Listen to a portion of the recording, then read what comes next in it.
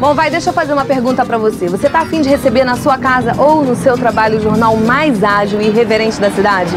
Ó, Jornal da Tarde, tá? Aquele que trata a notícia da forma que você gosta, sem puxar saquismo político, aquele jornal que vai direto ao assunto. Se você tá afim de assinar o jornal, uma assinatura durante três meses você vai pagar 15.600 cruzeiros ou então duas parcelas de 8.340. Você vai receber em casa ou no trabalho o Jornal da Tarde. Além disso, assinando o Jornal da Tarde, você fatura esse cartão aqui. É a chave da cidade que lhe dá direito a descontos em restaurantes, teatros, lojas, um monte de tudo que você sempre sonhou. Além disso, você vai ficar muito bem informado, porque ele traz todas as notícias e também a listagem com todas as lojas que anunciam no sábado de manhã no Shop Tour. Notícia e toda a listagem de lojas do Shop Tour só no Jornal da Tarde. Assine o Jornal da Tarde 8589 mil.